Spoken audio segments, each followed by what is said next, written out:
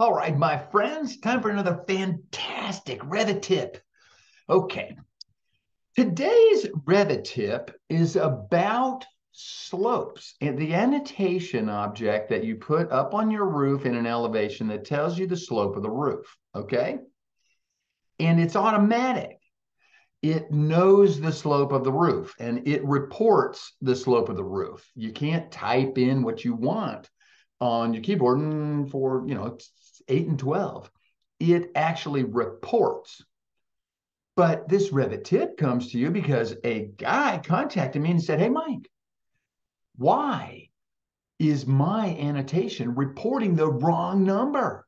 What, what's going on? It is reporting to me that it is different. It's, it's saying it's a lower slope by a few degrees than it should be. What's going on?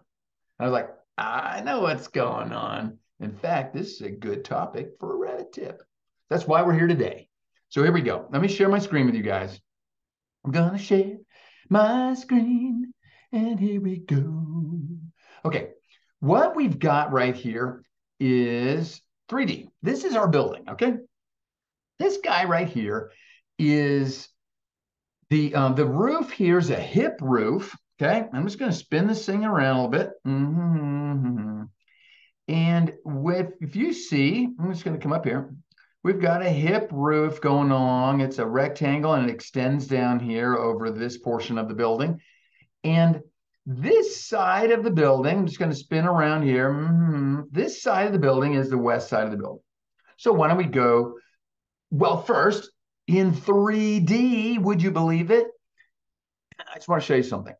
Before we get there, I'm going to click on the roof. I'm going to pick the roof. I'm going to come up here and it says my slope. Safely, it says in the properties that once you pick your roof, it tells you what the slope is. It's 8 and 12. Okay. So let's just go with that. It's 8 and 12. Okay. So here we go. I'm going to come in here nice and close, and I'm going to put one of these pieces of annotation on here. Okay. Annotate. And let me just there's a toolbar actually right in my face, and I want to move it out of the way. Mm-hmm. Okay, here we go. Spot slope in 3D here. If I click on one of these um, on this side, this roof edge here, I'm going to click on it. It says it's 8 and 12. That's what I just checked a second ago to prove myself. And coming down this way, look at that. 8 and 12. This is 8 and 12. That's 8 and 12. It's 8 and 12 all over the place because the roof is 8 and 12. Okay. So let's go to our um, elevation view. So I'm going to come down here to building elevation. I'm going to come down to west elevation. Bam, you guys, there it is. You recognize it from the building. This is the main building beyond, and this is a little pop out coming toward us. Now, wait for it. Let's check the slope with a slope angle, okay? A spot slope. Here we go. Spot slope, same as I did in 3D. And I click right here. I'm like, five and a half to 12. What? What? What's, what's going on? Five and a half to 12. See, and even this one right here, five and a half to 12. What is going on? Why is it doing this? And he was frustrated. And I'm saying, dude, let me explain what's happening. Okay. I'm going to get rid of these. Click, click, click. He's not doing it wrong. And if this is happening to you, it's not doing it wrong. What it's doing, my friends, is it is catching the first thing that it comes to, which is the hip. So let's go back to 3D. Okay if you're on this end viewing the building from the west, your view, I'm going to just, let me get rid of these. Mm-hmm, I'm going to get rid of these markers. Okay. When you're viewing from this side of the building and it's coming toward, and you're trying to tag this edge, you're actually hitting this ridge. Now, this is kind of like a hip.